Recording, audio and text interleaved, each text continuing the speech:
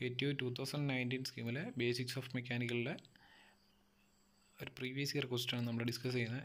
Question നിങ്ങൾ already വായിച്ച് കാണും. അപ്പോൾ അതിൽ നമുക്ക് തന്നിരിക്കുന്ന സെൻട്രിഫ്യൂഗൽ പമ്പാണ് സെൻട്രിഫ്യൂഗൽ പമ്പിന്റെ പവർ ഇൻപുട്ട് വന്നിട്ടുണ്ട് വൺ കിലോ വാട്ട് അതുപോലെ തന്നെ suction head three metre delivery head seven metre അതുപോലെ തന്നെ ടോട്ടൽ ഹെഡ് എന്ന് പറയുന്നത് H S plus H D അതായത് ടെൻ മീറ്റർ ആയിരിക്കും.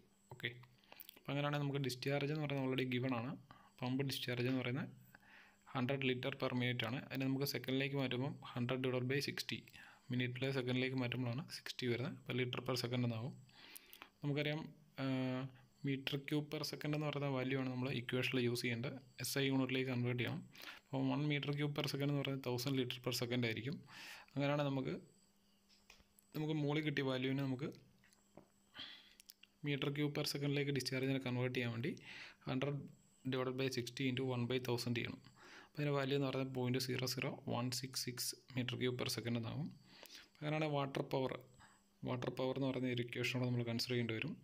അതാണ് നമ്മുടെ ഔട്ട്പുട്ട് പവർ എന്ന് പറയുന്നത്. അപ്പോൾ നമുക്കതിനെ റോ ജി ക്യൂ എച്ച് എന്ന് പറയുന്ന വാല്യൂ കൊണ്ട് റെപ്രസെന്റ് ചെയ്യാം. അപ്പോൾ അതിൽ റോ എന്ന് പറയുന്ന ഡെൻസിറ്റി ഓഫ് ഫ്ലൂയിഡ് ആയിരിക്കും. അതുപോലെ തന്നെ ജി എന്ന് പറയുന്ന നയൻ പോയിന്റ് എയ്റ്റ് വൺ എന്ന് പറയുന്ന വാല്യൂ ആണ് നിങ്ങൾക്കറിയാം അതുപോലെ തന്നെ ക്യൂ എന്ന് പറയുന്ന ഡിസ്ചാർജ് ആയിരിക്കും. എച്ച് എന്ന് പറയുന്ന ടോട്ടൽ ഹെഡ് ആയിരിക്കും. അങ്ങനെ നമുക്ക് വാല്യൂസ് പുട്ട് ചെയ്യുവാണെങ്കിൽ thousand into nine point eight one into point zero zero one six seven into ten അപ്പോൾ അതിൽ നമുക്കൊരു വാല്യൂ കിട്ടും. One sixty three point eight two seven എന്ന് പറയുന്ന ഒരു വാല്യൂ കിട്ടും. അത് വാട്ടിലായിരിക്കും. കാരണം പവറിന്റെ യൂണിറ്റ് എന്ന് പറയുന്നത് വാട്ടാണ്.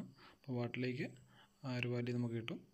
ഓക്കെ ഇനി നമുക്ക് നെക്സ്റ്റ് കൺസിഡർ ചെയ്യേണ്ടത് efficiency efficiency of the pump എന്ന് പറയുന്ന ഈറ്റ എന്ന് പറയുന്ന ഒരു സിമ്പിൾ കൊണ്ട് നമുക്ക് ഇൻഡിക്കേറ്റ് ചെയ്യാം. Rho g Q H divide by P എന്ന് പറയുന്ന റിലേഷനാണ് അതിൽ നമുക്ക് ഈ വാല്യൂസ് പുട്ട് ചെയ്ത് കൊടുക്കാം.